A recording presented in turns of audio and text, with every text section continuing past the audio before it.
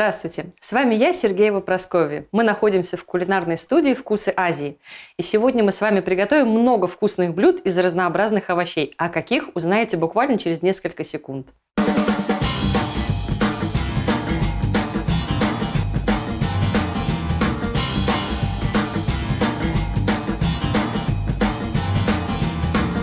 Сегодня у нас в гостях основатель и руководитель группы компании «Сидек» Дубинин Сергей Владимирович. Здравствуйте, Сергей Владимирович. Здравствуйте. Сегодня мы приготовим очень много интересных блюд и начнем с такого чуда, как рататуй.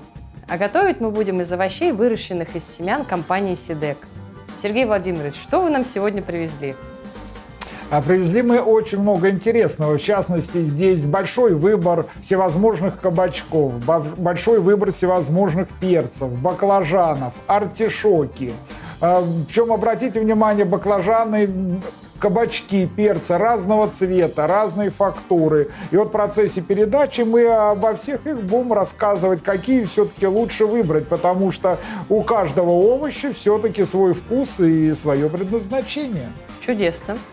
Для приготовления рататуи нам понадобятся баклажаны. Сергей Владимирович, какой вы мне порекомендуете из этого изобилия выбрать? Но я все-таки рекомендовал бы, прежде всего, баклажаны, которые не острят и которые не являются горькими. Вот здесь все баклажаны, которые представлены, видите, они, например, и вот такие полосатые, как сорт матросик, и вот такие белые, как вкус грибов. Он так и называется. Если его разрезать и приготовить, он будет иметь четкий вкус грибов. И если вам завязать глаза, вы не сразу определите, что же это все-таки все за баклажан. А вот, допустим, вот здесь представлены баклажаны, такие как для барбекю, для шашлыка, то есть у них такие даже названия, которые этому соответствуют. Вот мы, например, возьмем вот этот баклажан, который называется для шашлыка. Видите, он такой тонкий, как раз на его шампур. очень на шомпур хорошо одевать, и будет очень хороший шашлык именно из баклажана. А мы его сейчас используем для, для нашего рататуи, да. Сергей Владимирович, нам еще понадобится перец сладкий для нашего блюда. А может быть, вы расскажете немного о перце и поможете мне порежать его кубиком? Но перцев бывает много разных и всяких. Вот чтобы, допустим, на наше блюдо, учитывая, что нам не так нужно много перца, мы возьмем вот такой вот перец, который называется удача. Он конического размера, это перец открытого грунта, его очень легко выращивать именно в открытом грунте. Он прекрасно подходит, потому что если брать вот такие крупные перцы, как, допустим, звезды Востока или там наша генеральская серия, они все-таки несколько крупны, и их лучше, когда нужны большие порции. А так как нам сейчас нужна небольшая порция, мы Буквально берем, небольшую да, семью. перец удача, который хорошо подходит. Отлично для этой цели подойдет и лолита, и белый налив перцы. Они как раз идеально. Вот даже режешь, запах великолепно идет. Просто этот даже перец баклажаны здорово специально пахнут. создан для еды. И смотрите, насколько как бы выращенные на огороде овощи, насколько они а, красивше, ароматнее, вкуснее, нежели чем купленные в магазине. Все-таки в магазине они проходят через долгую транспортировку, они неизвестно откуда доставляются, иногда они срываются вообще недозрелыми и дозариваются по дороге. Конечно, такие перцы, баклажаны не могут до такой степени быть вкусны. А это все-таки выращено на своем огороде, и сразу с огорода это идет наше блюдо. Конечно, это значительно вкуснее и слаще. Я Поэтому... уже забыла, как пахнут баклажаны. Вот, они, оказывается, они, пахнут. оказывается, очень хорошо пахнут. Так, давайте Я пока вот это измельчу. А еще давайте. нам понадобится один томат. Сочный, сладкий, спелый. Какой вы порекомендуете? Томаты очень хорошо подходят э, под эти цели. Можно, конечно, использовать и томаты черного цвета, например, вот такого темно-бордового, коричневого. салат, наверное, такие, да? как, например, сахар черный. Но вообще-то лучше их использовать под салат. И, допустим, я их чаще использую именно в этих целях. Но сейчас давайте мы возьмем вот такой хороший сорт э, розового цвета. Это э, подарок женщине. Очень красивое название. А как родилось название такое? Такое? Ну вот мне как бы, я вообще люблю женщин, очень люблю жену свою и как бы считаю, что женщинам всегда надо посвящать много чего хорошего. Поэтому я так и назвал, как подарок женщине. И вот подарок женщине прекрасно подойдет под эти цели. Красивое название, наверняка и в нашем рататуе этот э, великолепный томат будет очень хорошо и смотреться, и он будет иметь очень хороший вкус, нам понравится. Давайте разрежем его. Тоже, да, можно кубиком да. его порезать, мы как раз его потушим. Вот чтобы... смотрите, как раз какая консистенция у томата. Вот он очень такой мясистый, хороший, насыщенный. В нем нет пустот, в нем достаточно помидорного мяса, и как бы он прекрасно подходит именно под наше блюдо рататуй.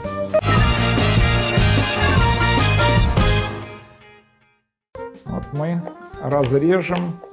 Сергей Владимирович. Достаточно мелко режем, так? Да, мы? чтобы потушить. Да. А чтобы как удается э, в нашем регионе, где нету солнца, где мало тепла. Неужели действительно возможно вырастить даже там немножечко более северных районах вот такую ароматную роскошь?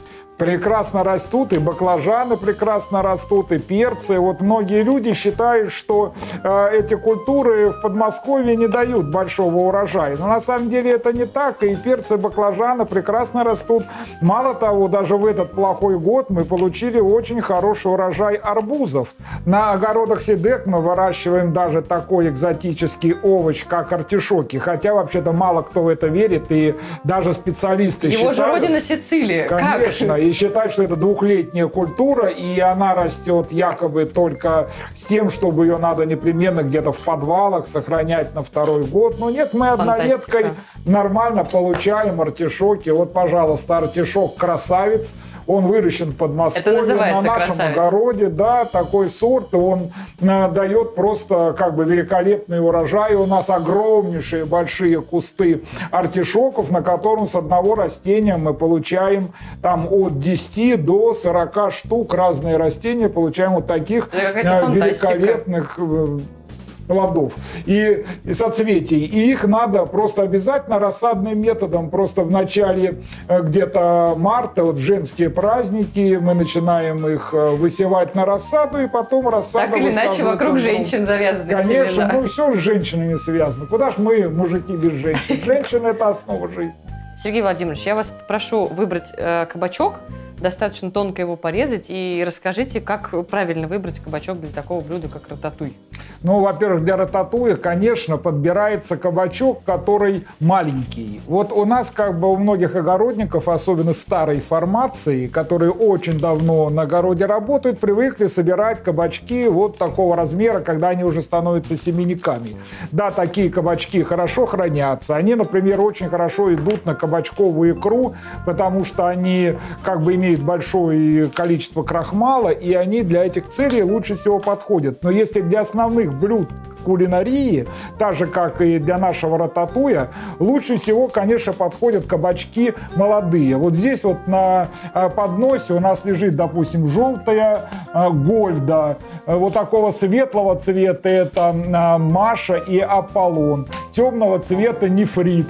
Все они отлично подходят под это блюдо, поэтому мы, может, имеем возможность выбрать любой из них. Давайте просто подберем по размеру, да, допустим, вот такого хватит нам, а, пожалуй, гольда, вот такого угу. плода. Да. Тем временем я занимаюсь активной подготовкой артишока к приготовлению. Какие есть тонкости? Обязательно оденьте перчатки, поскольку чешуйки, так называемые, они колючие, чтобы не уколоть руки. А я сняла большую верхнюю часть э, листьев и их выкинула. Оставшуюся часть я отрежу вот таким образом, ну, оставлю где-то одну треть. И сердцевину выну ложкой. Как, сейчас покажу. И заранее приготовьте воду, в которой вы добавите лимонный сок, поскольку артишоки моментально темнеют. Сергей Владимирович, а сколько сортов артишоков существует э, в вашей компании? Ну, вообще сортов артишоков их не так много. У нас э, два сорта заморский деликатес и красавец. И, в принципе, артишоки мало чем отличаются сорта друг от друга. И мало того, даже когда сажаешь их в поле, растения несколько отличаются друг от друга. Они не строго строго идентичны. То есть растение имеет э, определенную раз, разницу. Даже листья не совсем из одинаковые. Одних, из одних из семян? одних и тех же семян, из одного и того же мешка. И даже э, на одном бывает, допустим, 10 э, плодов, на другом 40 может быть. И кроме того, бывают такие растения, которые как бы вообще плодов не дают. А это как-то можно но, но их там такое количество растений небольшое, и обычно на уровне а, высадки такие растения не сажаются, а просто-напросто убираются. Поэтому э, как бы э, в поле обычно бывают только такие растения, которые имеют немало плодов. В поле, то есть даже без теплицы они растут? Они растут в поле без теплицы. Единственное, только рассада делается в теплице, либо на подоконнике. А так растут в поле даже без всякого укрытия, как картошка. Тем временем я закончила обработку артишока. Получилась вот такая вот чашечка на ножке. И мы теперь можем приступать к тепловой обработке овощей. Что мы будем делать? Мы на оливковом масле обжарим баклажаны с двух сторон. После этого в этой же сковородке мы потушим томаты с болгарским перцем, чесноком и солью.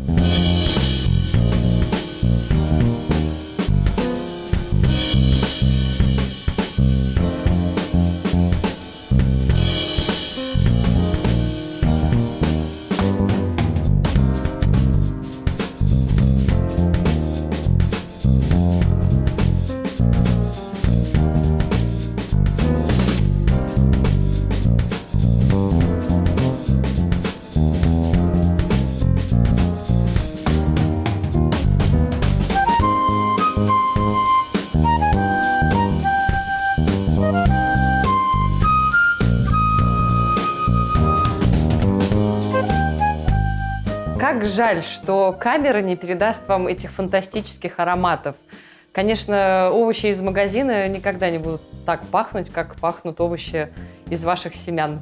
Ну, естественно, конечно, овощи огородные, они всегда ароматные. Ведь вы представьте, они только с грядки сразу же поступают к нам на кухню. А если вот мы, например, еще добавили перчик спрут новогодний вместе со сладким, то это придало бы нашим блюдам бы еще и пикантность, и определенный такой вкус, и дополнительный острый? аромат. Он острый, но у него интересная особенность. Если съедать его просто вот эти крылышки и саму основу, она сладкая. А вот семена и э, камера сама, они острые, даже очень острые. Поэтому в зависимости от того, а, какой вы хотите вкус, сладкий или острый, вы можете так или иначе формировать этот перец э, в блюдо. Для дальнейшего приготовления нам понадобится глиняная форма. Ну, желательно глиняная, можно и стеклянную. Мы ее смажем маслом оливковым, выложим, э, чередуя наши овощи, которые мы подготовили, обжаренные с двух сторон баклажаны, порезанные кружками кабачки, артишоки и зальем это томатной заправкой. Сергей Владимирович, вы мне поможете и порежете перец? Да, я перец Спасибо. порежу, и вот сейчас даже вот я отрезал крылышко с пруда новогоднего, и вот сейчас в камеру его съем и покажу, что это не острый, а наоборот очень сладкий и ароматный. А ну-ка. А это уже рискованно, тут перегородка. Тогда я не буду. М, Аромат дивный. Вот я дам, вот, допустим, здесь перегородок нет. Вот это можно берите, кушать. да. Это уже другое дело совсем. Абсолютно никакой остроты, сладкий, но аромат какой, понимаете, здесь Он вся совершенно, он, он совсем не похож на обычные перцы, Да, совсем. потому что вот эти перцы, они все равно хоть и ароматные, но такого аромата, как спрут новогодний, они, У него конечно, не послевкусие имеют. такое интересное. Все, а мы продолжаем резать спрут новогодний, наш очень острый перец и одновременно очень сладкий и ароматный.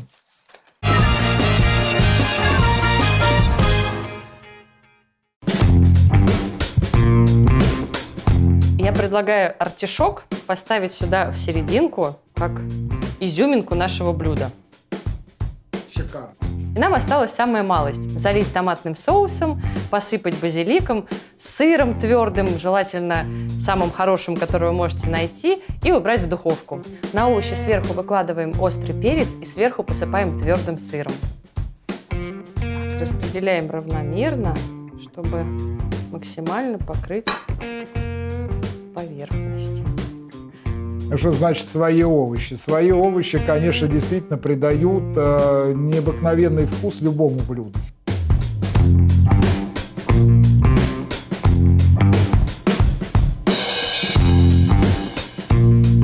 и посыпаем щедро хорошим твердым сыром. Но если вы не едите сыр, вы можете совсем его не использовать или заменить тофу. Он тоже прекрасно подойдет для этого рецепта. Сейчас мы уберем рататуй в духовку, разогретую до 180 градусов, и оставим там на 20 минут. А пока он будет запекаться, мы немножечко приберем со стола и подготовимся к следующему блюду.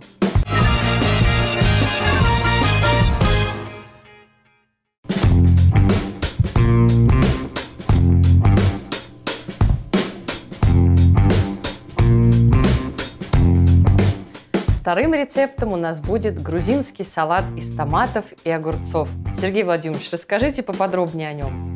Знаете, я часто бываю в Грузии и обожаю просто грузинскую кухню. И, в общем-то, грузинский салат, он обязательно всегда находится за моим столом, в каком бы ресторане Грузии я бы не был. Поэтому этот э, рецепт для меня очень важен. И я непременно готовлю грузинский салат всегда и дома, а не только кушаю его где-нибудь, находясь в Грузии. Я думаю, благодаря вам наши зрители тоже обязательно возьмут этот рецепт себе на заметку. Что нам понадобится? Ну, а основных, э, как бы у нас три ингредиента. Это огурцы, это томаты и это лук. Сладкий. И, сладкий, да. Из этих трех ингредиентов и делается. Начнем давайте с огурцов. Хотя дополнительные ингредиенты тоже важны. Грузинский салат и без грецких орехов, но это не грузинский, это не грузинский салат, салат. Поэтому, конечно, тоже можно назвать, что это четвертый основной ингредиент для этого салата. А изюминкой, видимо, станет вот это вот Сванская соль это называется. Да, сванская соль тоже, она очень хорошо подходит для данного вида салата, да и перец он лишний не будет. С чего начнем? Начнем давайте с огурцов, с, одня, с одного из основного ингредиента. Вообще под эти цели, конечно, э, не подходят наши традиционные огурцы-корнишоны, потому что корнишоны все-таки они имеют достаточно э, жесткую кожицу и достаточно крупные семена. Они, в принципе, больше подходят не под салатные цели, а под любимую всеми консервацию и посол. А здесь мы остановимся именно на огурцах, которые хорошо подойдут для салатов. В частности, вот когда я э, был в Грузии и вообще по своему профилю бизнеса с грузинами мы работаем. Я знаю, что они очень уважают белые огурцы. То есть я правильно взяла. Но у них в основном вот не такие идут. Это восточный стиль, это больше как бы Таиланд, Китай, Вьетнам, Корея. И там используются такие огурцы. Они то, тоже сочные и вкусные вкусные, но в Грузии часто вот любят именно, прежде всего, такие беленькие огурчики. Почему беленькие? Какое у них преимущество? Но мало того, что эти огурцы, это вот у нас а, сорт Белая гвардия, а, эти огурцы очень дают хороший урожай а, как бы на любом огороде, они прекрасно и также можно растут. И, и не в теплице. Их и в открытом грунте. То есть теплице. рядом с артишоками да, можно посадить огурцы верно. в чистом поле. Да. А расскажите, какой томат мы возьмем для этого салата? Томат его тоже это как бы наиважнейший ингредиент для этого салата. Прежде всего, что нужно знать? Что томат, так же как и огурец, должен быть вкусным и ароматным. И сочным, наверное. И сочным. Конечно, ни в коем случае не подойдут э, те э, томаты, которые обычно продаются в магазине, томаты-мячики, которые можно буквально об стенку кидать, и они не распадаются. Они подойдут для игры в пинг-понг. Они в пинг-понг подойдут, но никак не для употребления в салатах. А здесь лучше подойдут либо биф-томаты, можно использовать томаты разных цветов вот у нас здесь лежат различного цвета сахара. Сахар э, желтый, сахар оранжевый, сахар красный, сахар коричневый. То есть их хорошо использовать очень как раз под эти виды э, салата. Ну, ну, можно использовать, вы знаете, и хорошо и черри. Но То это есть... уже будет э, некая вариация, правильно Это вариация, да. Черри это для тех, кто любит как бы больше сахаров. Естественно, то есть как бы черри это считаются самые сладкие томаты, поэтому они очень хорошо подходят для грузинского салата. И вот сейчас мы на каком салате остановимся? Мы будем сладкий делать или мы будем делать э, обычные, то есть из биф, томатов? Давайте э... вот, вот этот, как вы сказали, коричневый сахар, он такой э, Давайте. аппетитный, такой сочный, большой. Давайте. И в нем самое большое количество в коричневом сахаре антиоксидантов, то есть это великолепная профилактика сердечно-сосудистых и онкологических заболеваний. Поэтому этот томат прекрасно это, я думаю, подойдет будет для наших целей. Так. А я тем временем, наверное, измельчу грецкий орех. Да, я да, правильно да, понимаю, что мелко-мелко Он его должен нужно? быть мелко, чем мельче, тем лучше. Вот, Хотя, столько, вот столько достаточно? Да, ну, наверное, достаточно. И один. Хотя для, для меня, например, нравится и покрупнее фракция. Оно как-то вкуснее, когда кусочек орешка попадает в рот. Вот посмотрите, какие изумительные томаты. Тут нет никакого пустого пространства. Камеры очень маленькие, семян почти нет. И сплошное помидорное мясо. Вот такие как раз томаты идеально подходят под наш грузинский салат.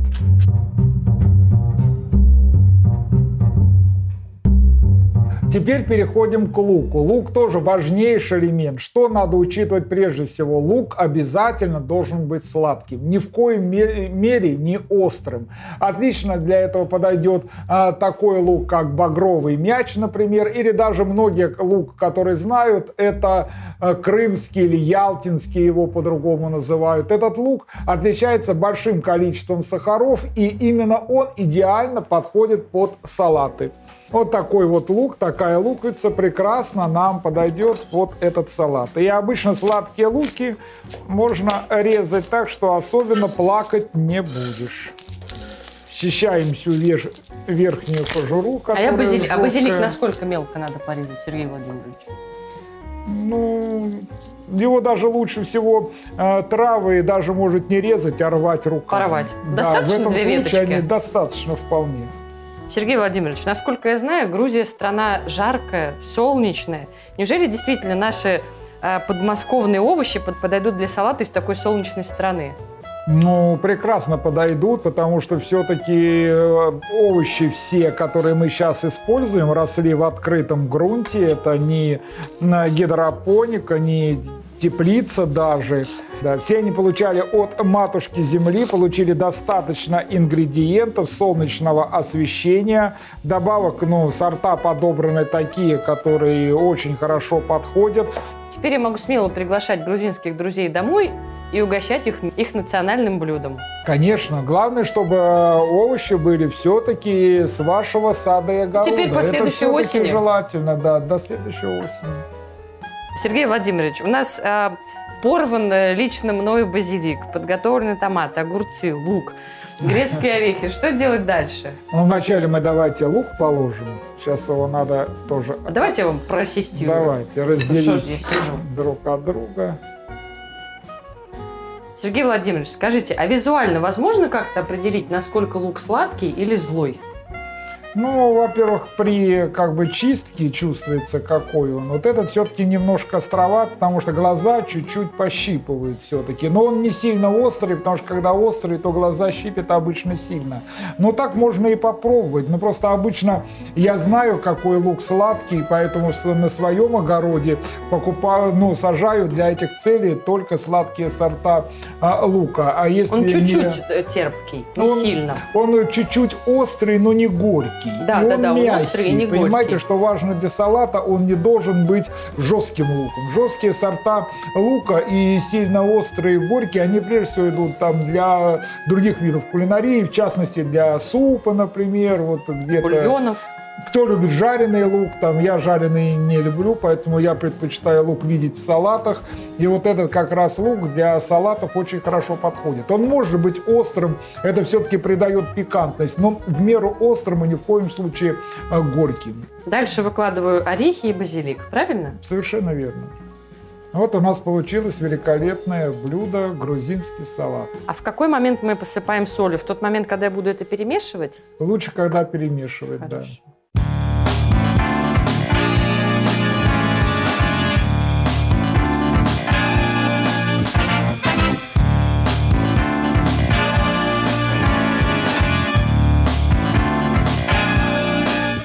Это самое, что ни на есть вкусное. Ох, оценим. М-м. М-м. Как можно разговаривать, когда такая вкуснота? Я, пони- я понимаю, почему есть поговорка, когда я ем, я глух и нем.